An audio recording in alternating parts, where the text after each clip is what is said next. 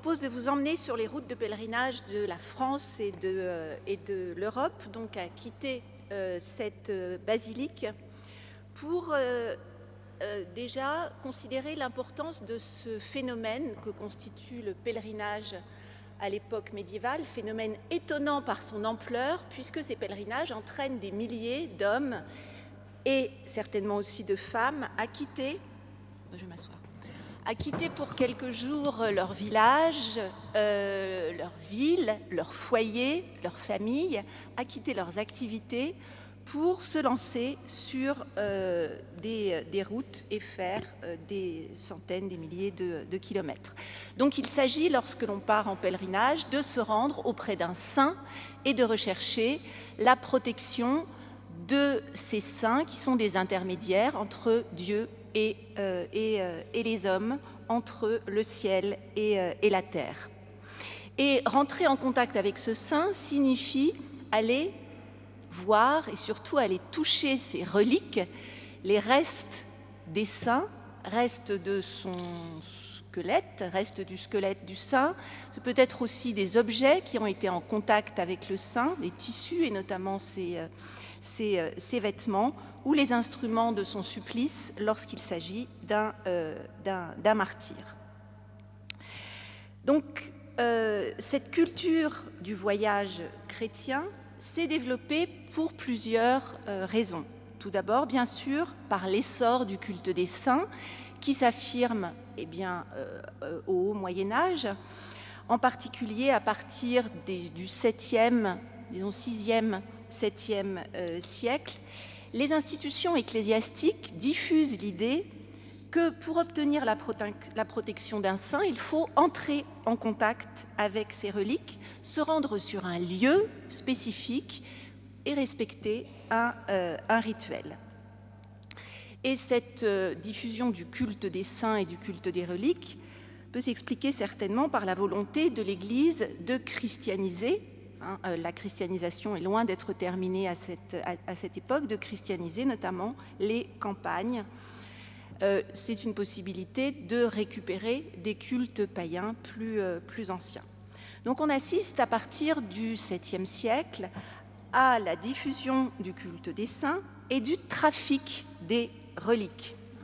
On va piller des catacombes, on va commencer à partager le corps des saints pour ne plus vénérer le, squelette dans son entier, mais on ne va pas hésiter à partager euh, ce, squelette, considérant que la vertu du saint, hein, sa capacité à guérir et à protéger, se trouve même dans une toute petite partie de son corps.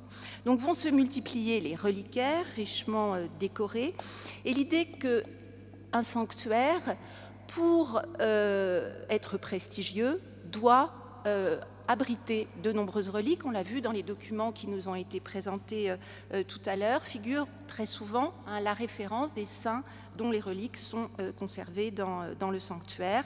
Donc on peut penser par exemple à l'importance des reliques conservées à, Cluny, hein, plusieurs milliers de, reliques, qui voulaient ainsi rentrer en concurrence directe avec Rome. Cette période correspond aussi à la translation, au déplacement des, euh, euh, des, reliques. Et on sait bien que ce culte des reliques a aussi influencé la conception, hein, l'architecture des, euh, des, sanctuaires. Donc deuxième facteur aussi de, l'essor du, pèlerinage, c'est la multiplication des lieux de culte autour de l'an 1000. Je n'ai pas résisté à placer une citation du fameux chroniqueur médiéval qui est Raoul Glaber, qui donc euh, indique dans sa euh, chronique, trois années n'étaient pas écoulées dans le millénaire qu'à travers le monde entier, et plus particulièrement en Italie et en Gaule, on commença à reconstruire les églises, bien que pour la plus grande part, celles qui existaient aient été bien construites et tout à fait convenables. Il semblait que chaque communauté chrétienne cherchait à surpasser les autres par la splendeur de ses constructions.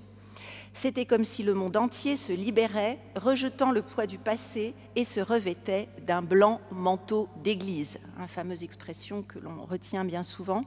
Presque toutes les églises épiscopales et celles de monastères dédiées aux divers saints, mais aussi les petits oratoires de village étaient rebâtis mieux qu'avant par les fidèles. Alors ce, euh, chroniqueur, Raoul Glaber, a été étudié par de nombreux euh, historiens et notamment euh, Georges Duby a insisté sur la, la, parole, l'importance de, ce texte. Donc je profite aussi de cette rencontre pour rappeler la mémoire de Georges Duby qui était présent à Clermont eh bien, il y a maintenant 23 ans, donc un an avant sa mort, pour les commémorations du euh, Concile de Clermont de 1095. Euh, euh, donc, le Concile de Clermont me permet aussi de rappeler l'importance des croisades, qui sont des pèlerinages armés, et notamment l'importance de la quatrième croisade, qui a euh, offert l'occasion aux Occidentaux de rapporter de nombreuses reliques euh, en Occident. Dans un contexte plus large, l'essor des pèlerinages s'inscrit dans euh, l'essor des échanges et l'essor général de l'Occident à partir du, euh, du, euh, siècle, du, début du XIIe siècle. Essor démographique, essor économique qui entraîne eh bien, le développement des, des, villes, des villages, et qui entraîne l'essor du commerce. Donc il faut vraiment s'imaginer ces pèlerins qui partent hein, dans un contexte de, euh, euh, de, développement des échanges, de construction de nouvelles routes et la construction de nouveaux lieux d'accueil, notamment les auberges, hein, qui seront de plus en plus nombreuses au cours du XIIe et surtout du XIIIe siècle, avec le développement d'une hospitalité euh, payante. Donc les routes au Moyen Âge constituent un sujet de recherche pour les historiens, sans, aucun doute. Et euh, les travaux qui concernent la route se sont en particulier multipliés dans les années 60 et les années 70 dans le cadre des monographies urbaines ou régionales, où les historiens se sont euh, attachés à reconstituer un ensemble de routes, un réseau de routes autour d'une ville ou pour couvrir euh, une, région. Donc il s'agit plutôt d'une histoire des peuplements, d'occupation des territoires, une histoire sociale et euh, économique. Les historiens ont travaillé bien sûr avec les archéologues. Hein, euh, et euh, l'archéologie, qui est en plein développement dans les années 60-70, euh, a apporté de nombreux éléments hein, essentiels. Donc, écrire une histoire des routes, c'est en fait confronter les données archéologiques hein, et euh, tout ce qu'on peut trouver comme information dans les textes narratifs, et également tous les actes de la pratique, tous ces documents que l'on peut retrouver dans les archives, que ce soit les registres fiscaux, euh, les actes notariés, puisque dans la description des propriétés foncières, on trouve souvent l'indication d'une route hein, ou d'un chemin ou d'une rue.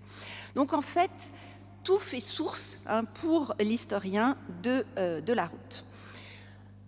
Donc les historiens de la route existent, il existe une histoire de la route, mais qu'est-ce qui intéresse les, euh, historiens? Alors dans ces années, hein, les années 60, les années 70, ce qui intéressait les historiens était de reconstituer ce que l'on pourrait appeler aujourd'hui le réseau euh, routier, et de voir notamment l'importance de l'héritage antique il est évident que les voies romaines étaient encore utilisées à l'époque médiévale. Hein. Il ne faut surtout pas s'imaginer la fin euh, de l'Antiquité comme euh, une, une, table rase hein, qui aurait euh, supprimé les villes et, euh, les voies euh, romaines qui vont perdurer, exister pendant toute l'époque médiévale et seront certainement euh, entretenues. Hein. Euh, ce que l'on observe à l'époque médiévale également, c'est la multiplication des routes. Imaginez multiplication des sanctuaires, des villages, essor des villes. Il va y avoir euh, la nécessité de raccorder hein, ces différents lieux de peuplement. Donc on va parler de chevelu médiéval, hein, c'est-à-dire euh, une augmentation du nombre des routes de toute taille, multiplication des routes de euh, raccordement. Alors la question que je voudrais vous poser, et que je me suis posée, est de savoir s'il existe au sein de ces réseaux routiers des routes de pèlerinage. Est-ce que je vais vous parler aujourd'hui d'un réseau de routes de pèlerinage?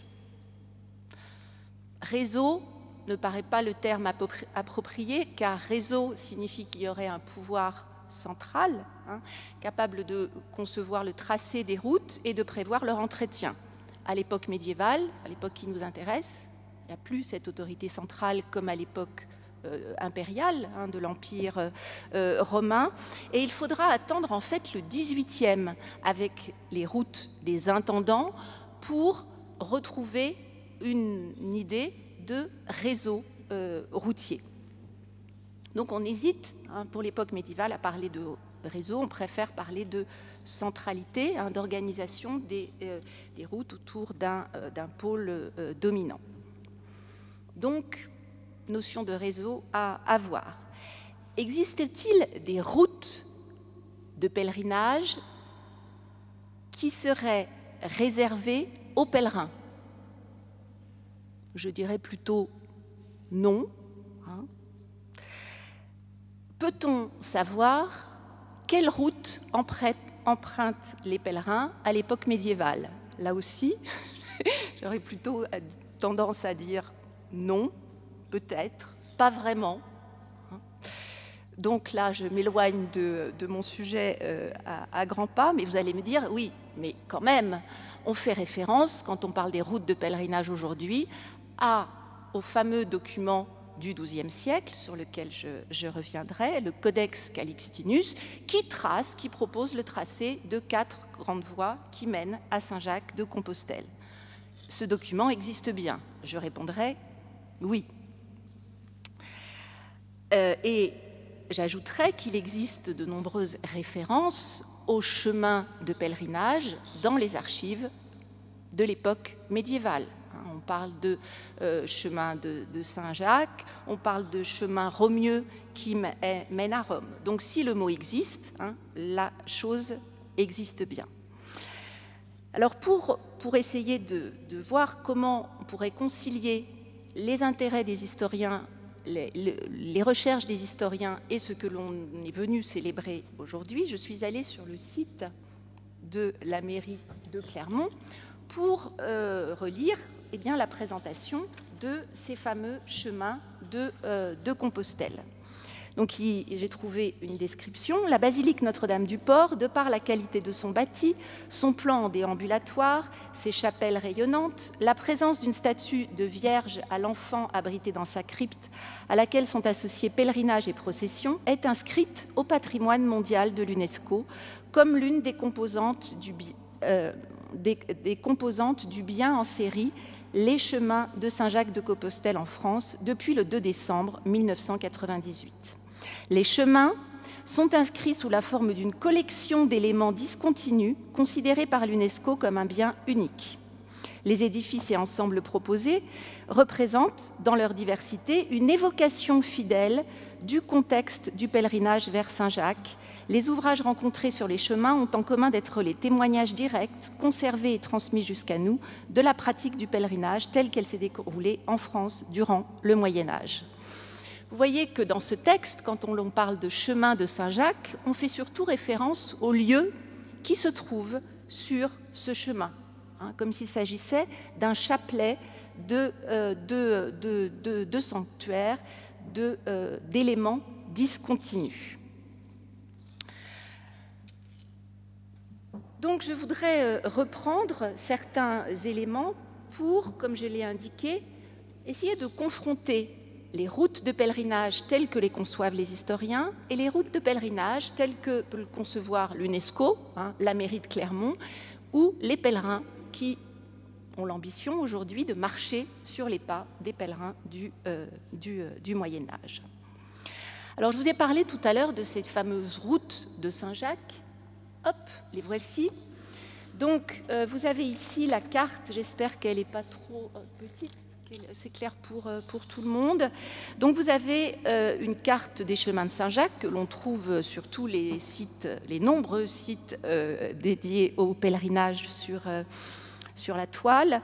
Donc le point de départ de la représentation graphique des routes de pèlerinage à Saint-Jacques, c'est un document du XIIe siècle que nous dit la légende Chemin de Compostelle contemporain en France, tracé à partir des années 1970 sur la base des lieux mentionnés par le guide du pèlerin.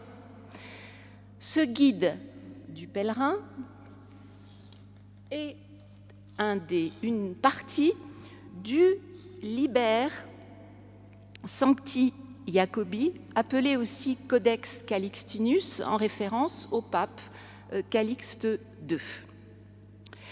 Donc c'est à partir de ce document que l'on a pu euh, concevoir hein, euh, la représentation des quatre routes que l'on connaît bien aujourd'hui.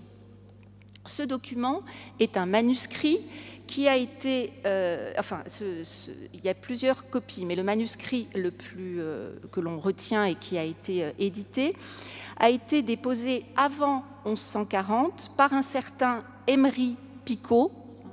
Trouverez, alors on peut écrire son nom avec un i ou un y, peu, peu importe, qui était un prêtre poitevin que l'on ne connaît pas par ailleurs. Hein, on ne connaît pas son origine.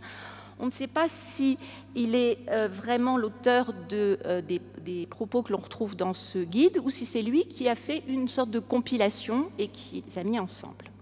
Donc ce euh, guide du pèlerin à Saint-Jacques a fait l'objet de plusieurs éditions. La première date de 1882. La seconde de 1938 par Jeanne Vieillard qui a, euh, et c'est elle qui a utilisé le terme de guide euh, du pèlerin. Et la dernière édition au, euh, au sud-ouest a été faite en 2006 par Michel Record, professeur de latin grec, qui reprend le texte du père Fita du, du, du 19e siècle. Donc, une série de, de, publications qui rappelle donc la composition de l'ensemble du Liber euh, Sancti Jacobi. Donc il y a cinq livres, hein, et euh, la partie qui nous intéresse, le cinquième livre, constitue une toute petite partie hein, de ce document, qui est composé donc d'une anthologie de pièces liturgiques, de livres de miracles accomplis à, Saint-Jacques, une histoire de Saint-Jacques majeur et euh, une légende de, de, ses reliques, le quatrième livre est certainement le plus connu, hein, c'est euh, la chronique de Turpin, l'histoire du pseudo Turpin, l'histoire de Charlemagne et de, euh, de, Roland. Donc ce qui nous intéresse euh, plus particulièrement aujourd'hui est la description des routes de, pèlerinage. Donc le guide du euh, cinquième livre est composé de onze chapitres. Le premier décrit les fameux chemins de Saint-Jacques, le second les étapes du, euh, euh, chemin, le troisième le nom des bourgs et des villes traversées. Les quatre, le chapitre 4 rappelle l'importance des cols à traverser dans, les Pyrénées et suit euh, une série d'indications de conseils, ce qui seraient des conseils euh, adressés aux pèlerins pour terminer ensuite par la description de la ville de Saint-Jacques, enfin de, Compostelle et la description de la, de, la cathédrale. Donc vous voyez que euh, c'est le chapitre 1 qui, qui concerne les routes de pèlerinage et vous allez voir que le texte est très court. Le voici. Il y a quatre chemins qui mènent à Saint-Jacques et se réunissent en un seul près de Puerte de l'Arena. Puerte de l'Arena, vous le voyez hein, au, euh, sud, sud-ouest de, la carte, en Espagne. L'un y mène par Saint-Gilles du Gard, hein, au euh, sud-est, passe par Montpellier, Toulouse, c'est ce que l'on appelle la Via Tolosana. Hein L'autre y conduit par Sainte-Marie-du-Puy, c'est la Via Podiensis, passe par Sainte-Foy de Conques et Saint-Pierre de Moissac. Donc, Saint-Gilles, hein, le puits plus, au, plus, plus au nord. Un autre y parvient par Sainte-Marie-Madeleine du Vézelay, donc nord-nord-est, Saint-Léonard en Limousin et Périgueux, c'est la Via Lemovicensis. Et enfin, un dernier y va par Saint-Martin de Tours, Saint-Jean d'Angély, Sainte-Trope de Sainte et Bordeaux. C'est ce que l'on appelle la, via, la, route de Tours, la Via Turonensis. Les chemins de Sainte-Foy-de-Conques, de Saint-Léonard et de Tours se réunissent près euh, de Stabat et euh, les autres, donc à et l'ensemble à Puente de l'Arena. Voilà, c'est un document de 1140. Ce n'est pas un faux. Hein. Il, est, euh, il, a été étudié largement par des historiens, par des philologues.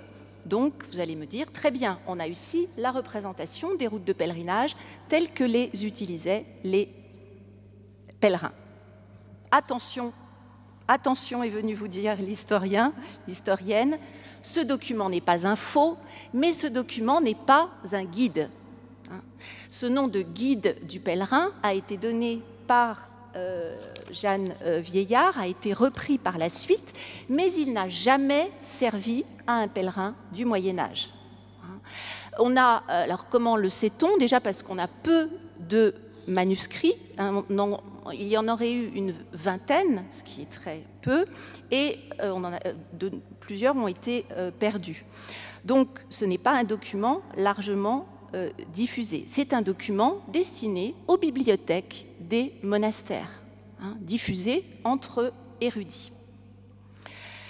Donc, ce n'est pas le guide du routard de l'époque médiévale. Hein.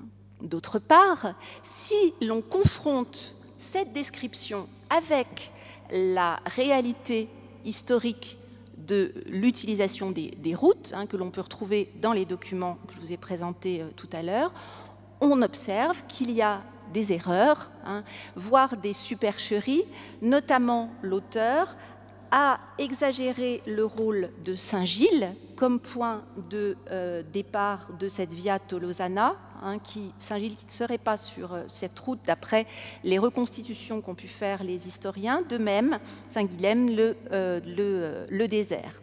Si l'on compare aussi avec d'autres itinéraires comme celui de Bruges de, de la fin du XIVe siècle, on observe que le pèlerinage au puits était en fait indépendant euh, du pèlerinage vers euh, Saint-Jacques de Compostelle. Même chose, Rocamadour. Donc ce que veut faire Emery euh, Picot et ce que, ce que ce qu'a produit, ce qu'ont produit aussi les, éditeurs de, ce livre jusqu'à aujourd'hui, c'est une façon en fait d'exagérer le rôle de Saint Jacques de Compostelle, montrer son pouvoir d'attraction, alors qui était certain, hein, je ne le remets pas en route, mais qui a voulu montrer comment tout ce réseau routier, toutes ces routes étaient organisées en fonction du pèlerinage vers euh, Saint-Jacques, ce qui n'était pas le cas. Déjà parce que, aussi, il faut remarquer que ces routes étaient bien plus nombreuses. Il n'y a pas ici de routes de raccordement. Hein, euh, donc, mais ce ne sont pas seulement les routes principales qui sont représentées, il manque des routes, des итères, euh, des, des, routes vers Saint-Jacques dans ce guide. Donc, il ne s'agit pas d'un guide pèlerinage, il s'agit d'une œuvre politique hein, qui a la fonction principale de mettre en avant, d'insister sur le prestige de Saint Jacques. Pour qui?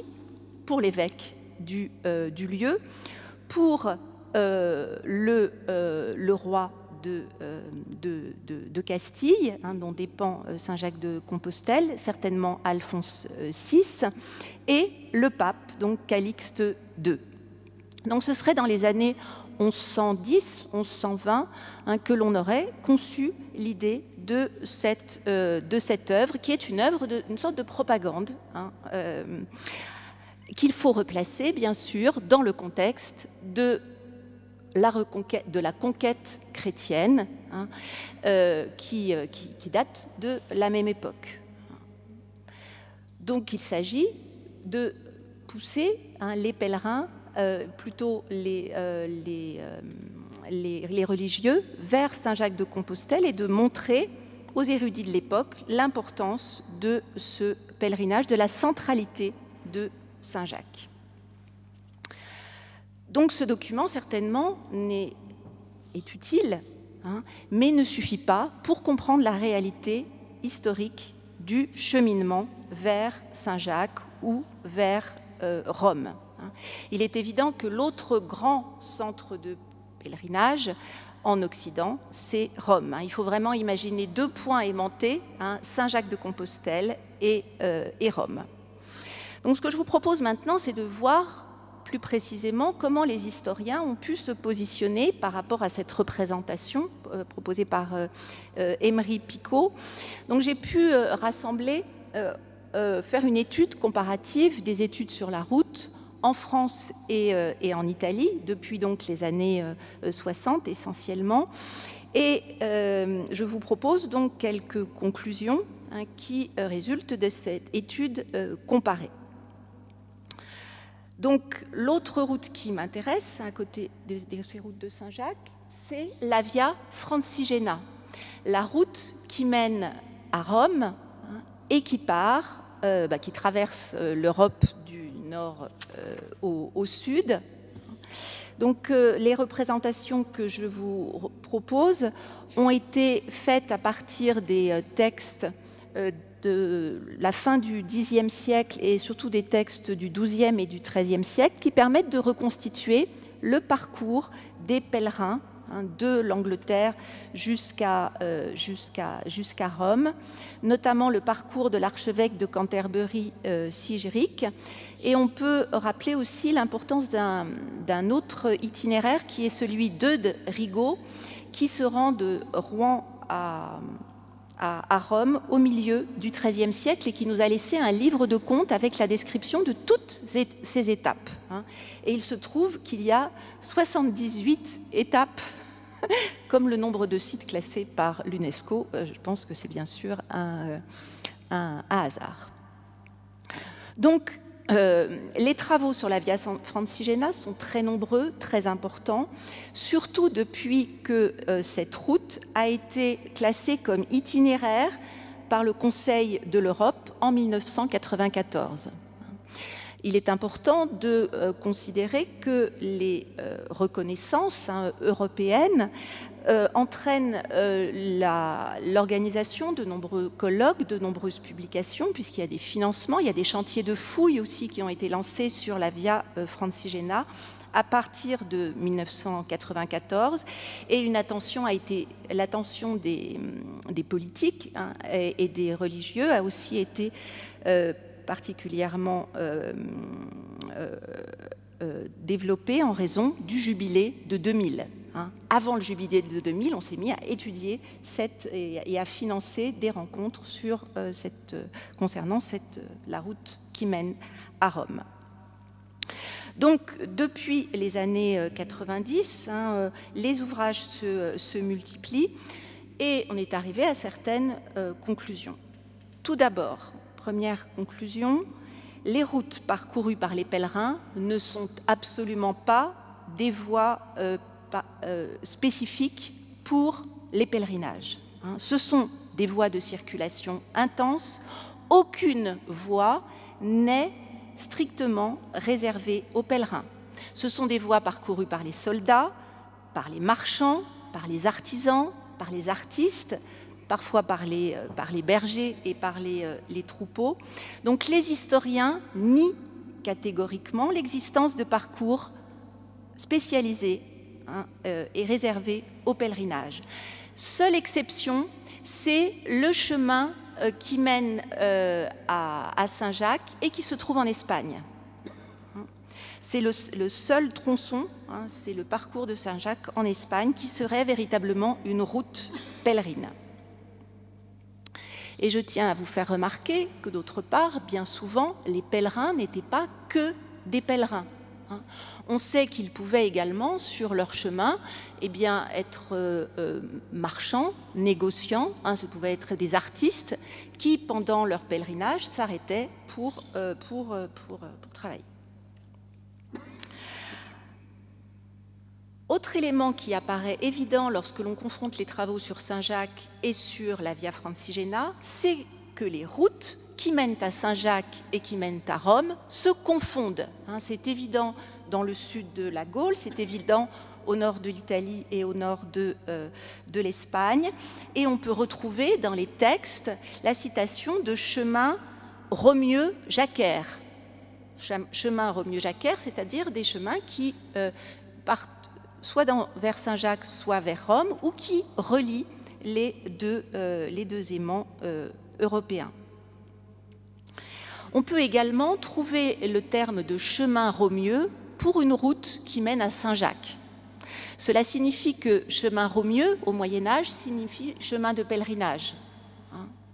Donc euh, il est vraiment difficile de s'y euh, retrouver.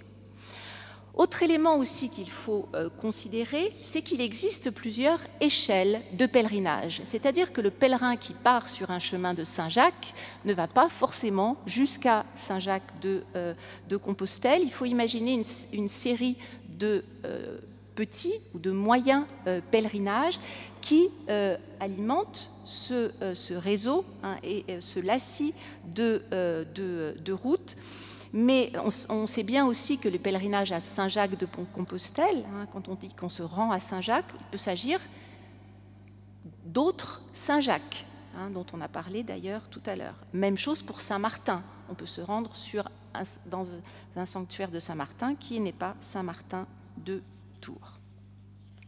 Donc les choses sont fort complexes. Autre complexité, eh bien, les parcours euh, des, pèlerins ne sont pas fixes, ni stables, ni immuables. C'est-à-dire que toute représentation d'un réseau de routes à l'époque euh, médiévale, et ce sera vrai jusqu'au XVIIIe, est forcément schématique et constitue euh, une, une représentation fixe dans le temps. Or, l'on sait que ces axes euh, ces parcours étaient extrêmement variables, variables suivant les euh, saisons, suivant les époques, suivant les conditions euh, politiques. Si l'on prend par exemple la Via Francigena qui mène donc de l'Europe du Nord jusqu'à Rome, elle a été déviée à partir du XIIIe siècle en Toscane vers la ville de Florence qui était en plein essor et qui a réussi à capter la route a dévié les pèlerins pour qu'ils passent par, euh, euh, Florence. Donc des, phénomènes de captation ou de détournement hein, qui, euh, entraînent des modifications en fait permanentes des parcours. D'autre part, il ne faut pas s'imaginer la route médiévale comme la route d'aujourd'hui, la route contemporaine, qui consiste à partir d'un point, à aller vers un autre point et à suivre une route pré, prévue et préétablie. Hein. Le pèlerin part, le voyageur part dans une direction sans forcément savoir précisément où il va trouver le gîte et le couvert et surtout combien de temps il va, mettre et quel chemin il va parcourir. Il peut très bien avoir prévu de, traverser un cours d'eau, euh, utiliser un pont et trouver ce pont euh, délabré. Euh, absence de passeurs, il faut faire un détour de plusieurs kilomètres. Donc euh, les représentations, hein, comme celles même que je vous propose pour la Via Francigena, sont des schématisations. Et il faut s'imaginer en fait la route médiévale comme une succession de faisceaux de routes. Hein. D'ailleurs, on ne parle plus de route, mais d'espace de circulation ou d'air de route. Cela signifie qu'il euh, y a des variations, hein, même à une même période, des parcours parallèles hein, que vont suivre les pèlerins qui vont vers une même direction. Et ce n'est qu'à certaines époques que ces différents parcours vont pouvoir se figer et s'unifier.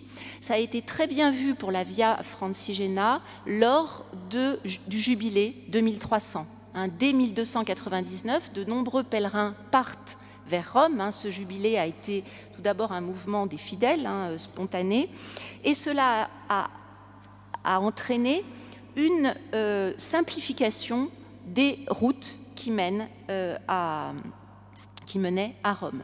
Et ensuite, de nouveau, hein, après 1300, le, euh, les, les, faisceaux se sont multipliés. Donc, pour connaître ces aires de route, pour essayer de les localiser, de voir leur ampleur, il peut s'agir de plusieurs dizaines de kilomètres hein, de, de large, que vont utiliser les historiens? Ce qu'ils appellent les lieux de route. Savoir quels étaient les lieux d'étape, les lieux d'hospitalité utilisés par les pèlerins, que sont les monastères, les hôpitaux, hein, qui sont des lieux d'accueil euh, au Moyen Âge, ou encore les auberges. Hein.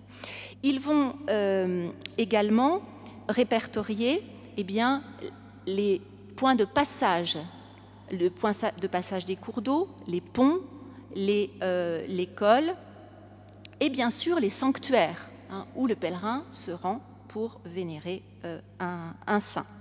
Donc on retrouve bien, en fait, dans ces lieux de route dont parlent, qu'étudient les, les, historiens, eh bien cette idée qui a été euh, reprise dans le descriptif de la mairie de, de, euh, de Clermont, l'idée qu'il s'agit en fait que la route est un, que les chemins de Saint-Jacques constituent une sorte de, sont constitués d'un chapelet euh, d'édifices, hein, de lieux qui viennent composer euh, la route.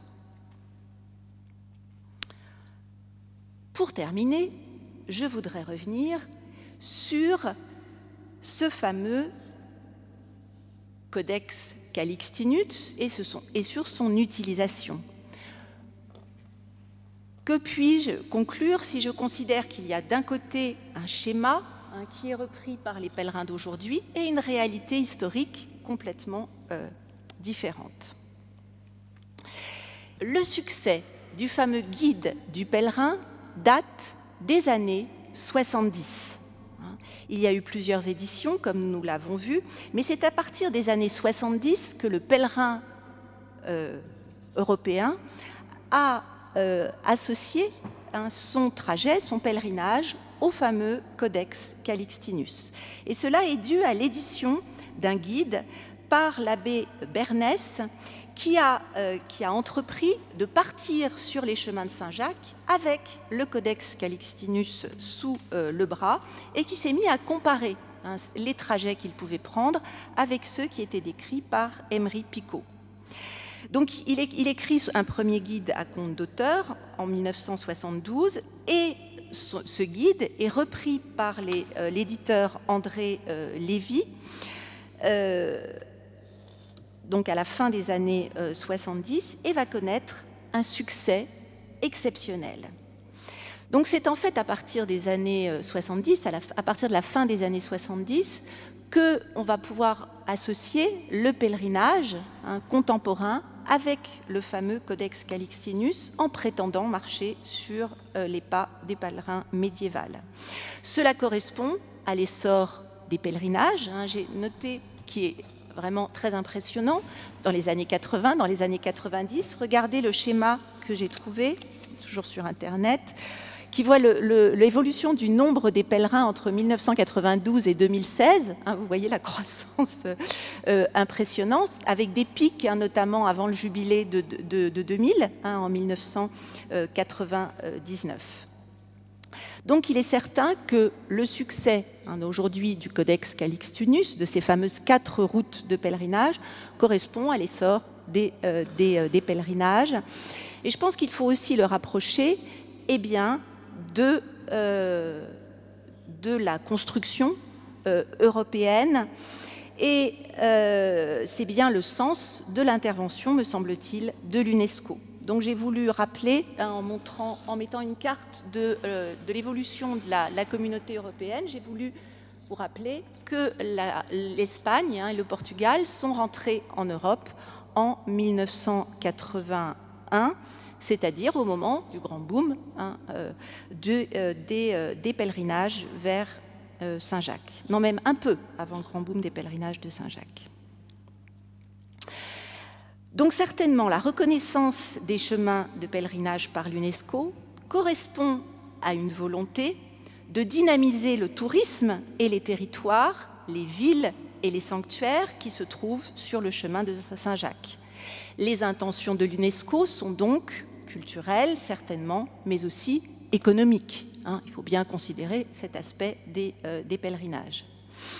Et il me paraît euh, essentiel de rappeler comment euh, cette reconnaissance des chemins de pèlerinage participe à la construction de l'Europe, participe à l'identité de l'Europe aujourd'hui. Donc on trouve bien une intention aussi politique. Ces routes de pèlerinage ont aujourd'hui une dimension politique.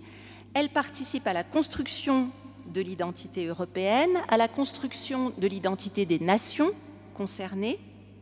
Et on retrouve là des intentions politiques comme celle d'Emery Picot au euh, début du XIIe euh, siècle. Donc l'UNESCO entretient la mémoire des routes médiévales. Hein.